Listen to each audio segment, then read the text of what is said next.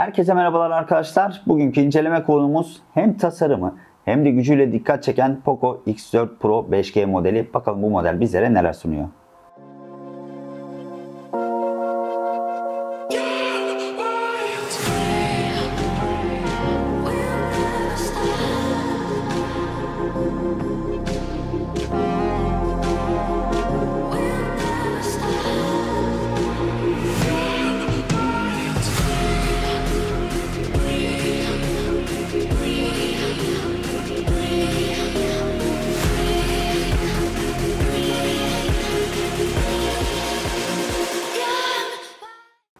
Bildiğiniz üzere Poco fiyat performans cihazlarıyla öne çıkan bir marka. Dolayısıyla Poco ismini duyduğunuzda yine karşınıza böyle bir fiyat performans modelinin çıkacağını az çok kestirebiliyorsunuz ki bugün sizlerle birlikte inceleyeceğimiz cihaz da aslında fiyatının hakkını vermeye çalışan bir cihaz. Poco X4 Pro arkadaşlar genel olarak tasarım hatlarıyla dikkat çeken bir model aslında. Burada Poco köşeli hatlara yer vermiş. Biliyorsunuz Apple geçtiğimiz yıldan beri köşeli hatlara sahip telefonlar kullanıyordu. Bir anda bu trend oldu ve Poco'da da yine köşeli hatlara sahip bir tasarım çizgisiyle karşılaşıyoruz. Burada köşeli hatlardan kastımız ne? Şu telefonun yan kısımları oval değil arkadaşlar.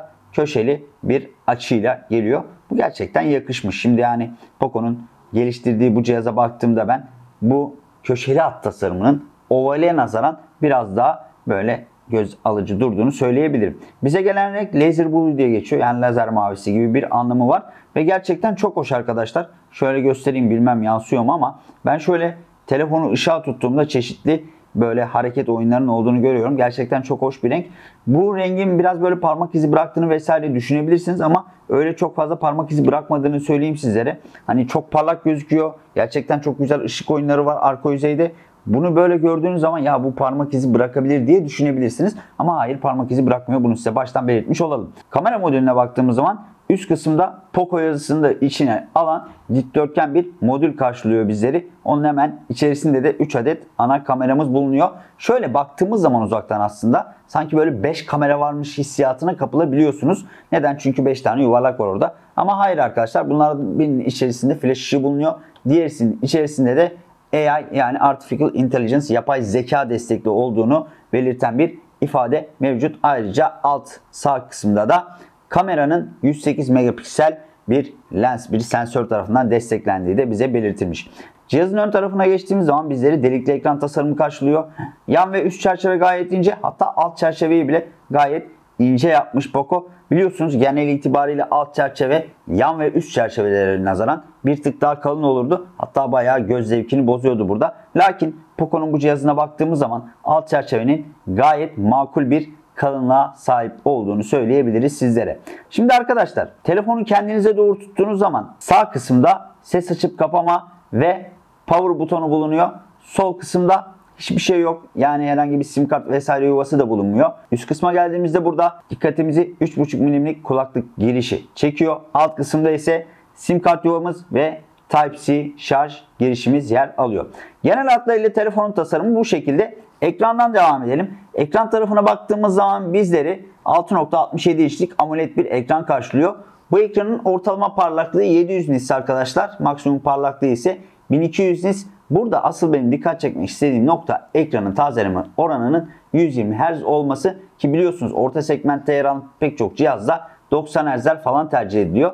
Normalde baktığımız zaman piyasadaki birçok cihazda zaten 60 Hz'lik ekranlar kullanılıyor. Fakat hani biraz daha böyle yeni telefonlarda 90 Hz kullanılmaya başlandı. Poco burada ne yapmış? Bu standardı biraz daha aşarak 120 Hz'lik bir ekrana yer vermiş. Bu 120 Hz'lik ekranı gerek internette gezindiğinizde gerek Instagram vesaire sosyal medya hesaplarınızda gezindiğinizde hissedebiliyorsunuz. Oyun oynarken de gayet akıcı bir deneyim sunuyor sizlere.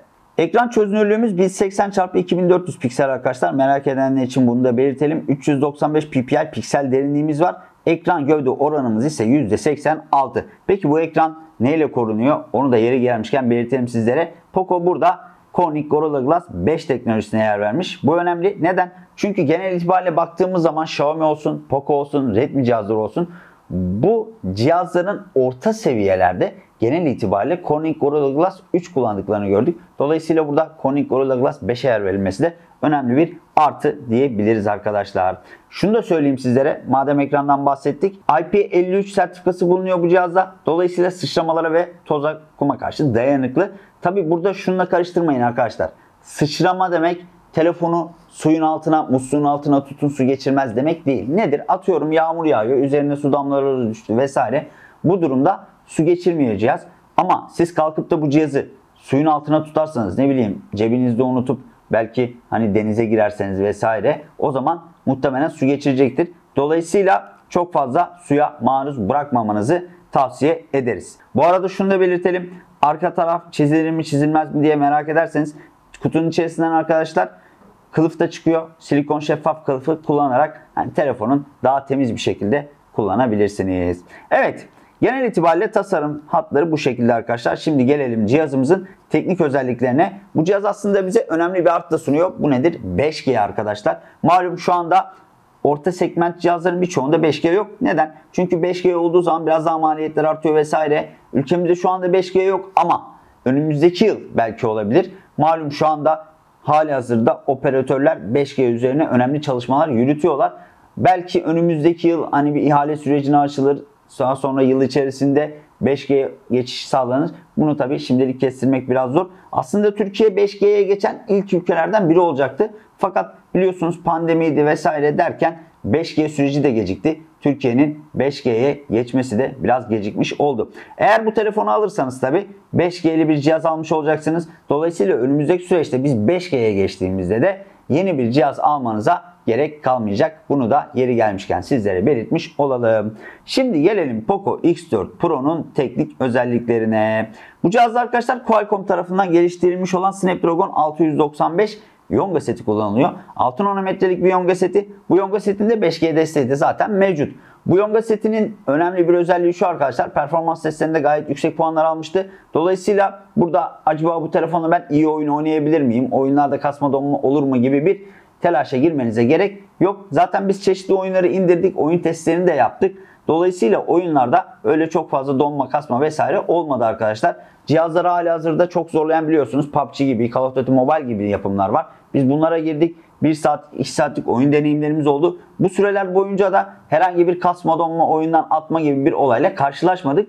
Buna istinaden cihazda öyle aman aman aşırı bir ısınma da olmadı. Biliyorsunuz cihazı şöyle tuttuğunuz zaman arka taraf ısındığında ister istemez elinizi rahatsız ediyor. Genel olarak ısınmada şu kamera modülünün o taraflarda oluyor. Neden? Çünkü zaten bu kısımda batarya var arkadaşlar. Telefonla oyun oynadığınızda batarya kısmı çok fazla ısınmıyor. Ama nedir? Şu işlemci, yonga seti vesaire burada olduğu için ne oluyor? Yonga seti içerisindeki parçalar ısındığından elinize sıcaklık gelebiliyor. Bu da ister istemez sizi rahatsız edebiliyor.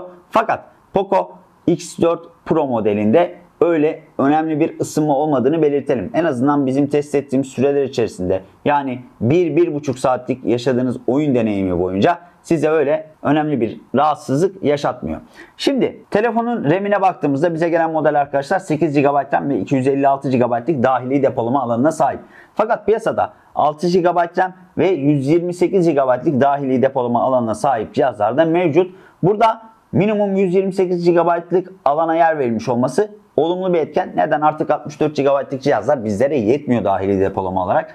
Dolayısıyla burada 64 GB yerine arkadaşlar 128 GB'lık dahili depolamadan başlaması da önemli olmuş. Tabi eğer imkanınız varsa bizim size önerimiz 256 GB'lık cihaz almanız olacaktır. 256 GB'lık cihaz aldığınız zaman başka bir şekilde hiçbir zaman hani acaba yerim olur mu olmaz mı gibi bir düşünceye gerek kalmıyor. Gerçekten tüm ihtiyaçlarınızı karşılıyor diyebiliriz. Çünkü artık günümüzde uygulama boyutları da çok fazla yükselmeye başladı. Bir oyun indiriyorsunuz 2 GB daha sonra oyuna 3 GB güncelleme geliyor arkadaşlar. Bir bakıyorsunuz oyunun boyutu olmuş 5 GB.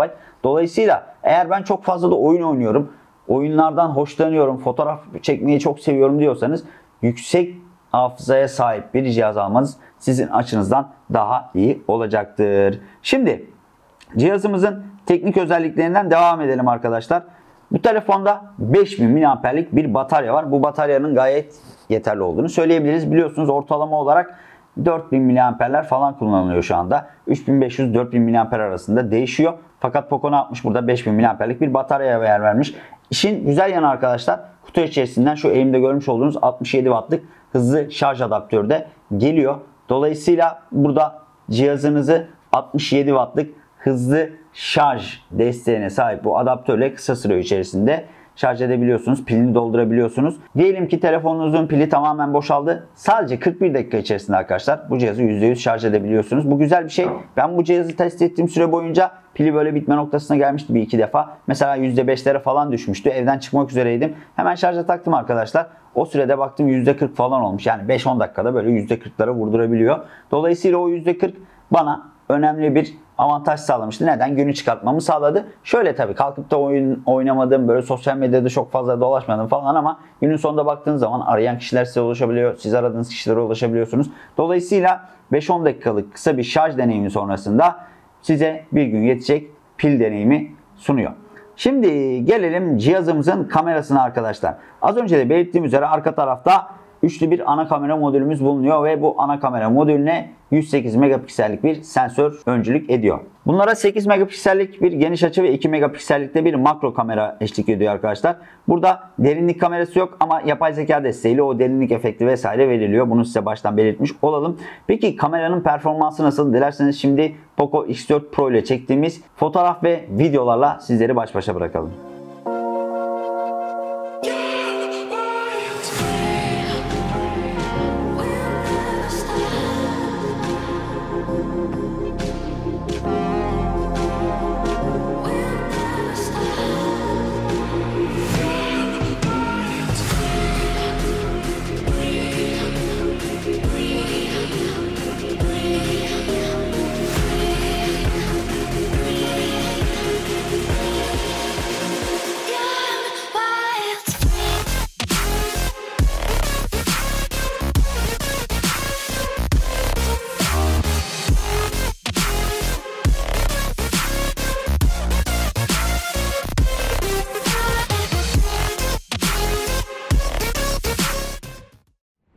Selamlar. Şu an tekrardan bir video çekiyoruz. Burası soğuk ve yine her zamanki gibi sesli. Umarım sesim size rahat ulaşıyordur. Bence ön kamerası güzel. Ben beğendim. Arkaya bakalım mı bir de? Hadi bakalım. Arka kamerası bu şekilde.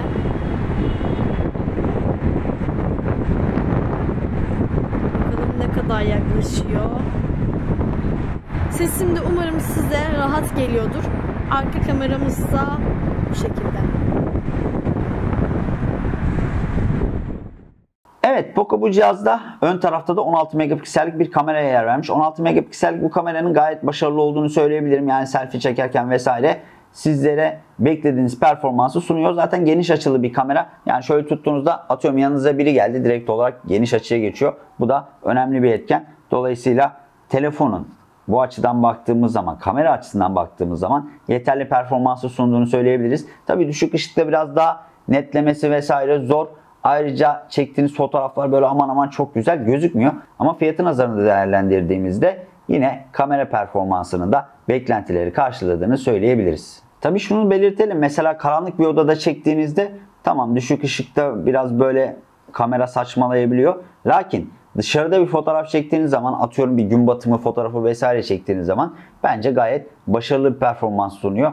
Bu açıdan bakıldığı zaman kameranın performansını yansıttığını söyleyebiliriz. Yani buraya Xiaomi kalkıp da laf olsun diye 108 megapiksellik bir kamera yerleştirmemiş. Bu kameranın tekrardan belirtiyorum gün ışığında fotoğraf performansı gayet başarılı. Böyle gün batımına yakın da gayet güzel fotoğraflar, videolar çekebiliyorsunuz. Ama karanlık bir odaya girdiğiniz zaman yani ışığın az olduğu bir ortamda, kapalı bir ortamda çok başarılı fotoğraflar çıkmayabilir karşınıza. Bunu da sizlerle paylaşmış olalım arkadaşlar. Şimdi gelelim telefonumuzda bulunan bir diğer özelliği. Bunu genellikle soruyorlar. NFC özelliği var mı diye. NFC özelliği var arkadaşlar. Dolayısıyla bu cihazı İstanbul kart olarak kullanabiliyorsunuz ya da kredi kartınızı tanımlayarak çeşitli ödemeler gerçekleştirebiliyorsunuz. Ayrıca parmak izi okuyucusu da telefonun yan kısmına yerleştirilmiş yani power butonunun üzerinde bulunuyor.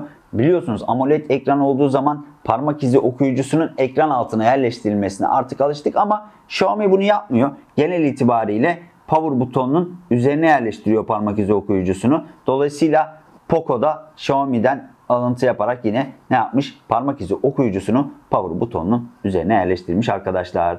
Evet genel itibariyle telefon hakkında bizim yorumlarımız bu şekilde. Eğer bu cihazla ilgili kafanıza takılan herhangi bir soru işareti olursa yorumlar kısmında bizlerle paylaşabilirsiniz. Başka bir videoda görüşmek üzere hoşçakalın diyorum sizlere. Bizleri sosyal medya hesaplarımızdan takip etmeyi de unutmayın.